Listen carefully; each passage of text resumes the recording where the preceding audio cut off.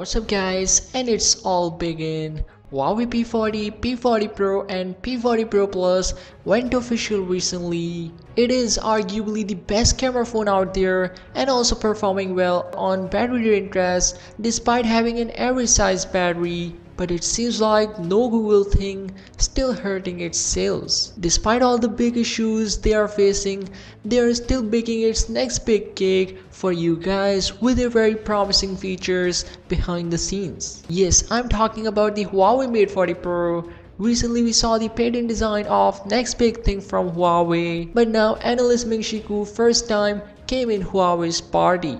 He is best known for his accurate Apple leaks. He told his investors about the iPhone 9 two years ago and just a couple of days ago it went official. And now his latest note to investors focuses solely on the Huawei Mate 40 series. As we all know, Huawei has always pushed the limits of smartphone photography and with the recently announced P40 series, they made a huge leap by not just upgrading the sensor but also industry leading camera modules and a very great software and it looks like Mate 40 won't disappoint either. Ming-Chi Kuo believes Huawei is researching the idea of adopting a freeform lens on the Mate 40 series rather than relying on upgraded image sensors. If it really happens, that would be a pretty groundbreaking because the tech has never been used on a smartphone camera before. Now what exactly is the freeform lens? So it's a freeform optical refractive surface that are defined by complex mathematical equations allowing radical and unique light bending capability. Or in short terms, freeform lens is essentially an advanced manufacturing process backed up by complex mathematical equations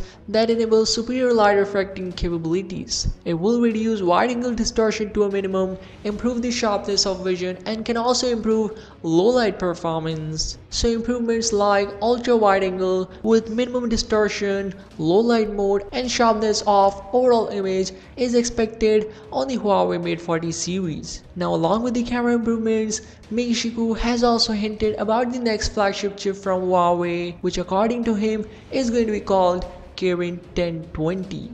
You guys remember almost 2 years ago or maybe 2.5 years ago, I made a video on the Huawei Kirin 1020 chipset and now in 2020 it is becoming true. So as we know the next flagship chip from Huawei is going to be the first chip in the world with a 5nm process node. Kirin 990 and Kirin 980 was based on 7nm process architecture and with the introduction of 5nm, Huawei will kick off the new chapter of smartphone powers. We are already at this stage where we didn't see any major difference compared to last year's flagship, but 5nm will bring a lot of serious gains. And it's not just Huawei, Google is also investing heavily into 5nm to finally come back in the great flagship market. The more detailed video will be coming soon of Samsung and Google's partnership to compete with Apple's A series of processor and Qualcomm's dominance in the Android world. Now coming back to the Huawei's Kirin 1020 chipset,